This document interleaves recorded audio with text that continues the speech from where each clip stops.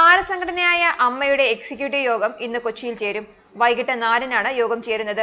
നടി ആക്രമിച്ച കേസിൽ പ്രതിയായ ദിലീപിനെതിരെ നടപടിയെടുക്കണമെന്നാവശ്യപ്പെട്ട് ഡബ്ല്യു സി സി അംഗങ്ങളായ നടിമാർ നൽകിയ കത്ത് ഇന്നത്തെ എക്സിക്യൂട്ടീവ് യോഗം ചർച്ച ചെയ്യുമെന്നാണ് വിവരം. നടിമാരായ പാർവതി രേവതി പത്മപ്രിയ എന്നിവർ ദിലീപിനെതിരെ നടപടിയെടുക്കണമെന്നാവശ്യപ്പെട്ട് നൽകിയ കത്തിന്റെ പുറത്താകും ചർച്ച നടക്കുക. കത്ത് നൽകി മൂന്ന് മാസം പിന്നിടുന്ന സാഹചര്യത്തിൽ ഉടൻ നടപടി വേണമെന്ന് നടിമാർ ആവശ്യപ്പെട്ടിരുന്നു.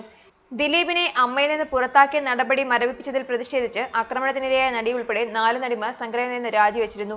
ഓഗസ്റ്റ് ഏഴാം തീയതി ഇത് സംബന്ധിച്ച് നടിമാരുമായി ചർച്ച നടത്തിയെങ്കിലും നടപടികളൊന്നും ഉണ്ടായില്ല. ഇതോടെയാണ് ഇന്നത്തെ ചർച്ചയിലും ദിലീപ് വിഷയം ഉയർത്താൻ നടിമാർ ഒരുങ്ങുന്നത്.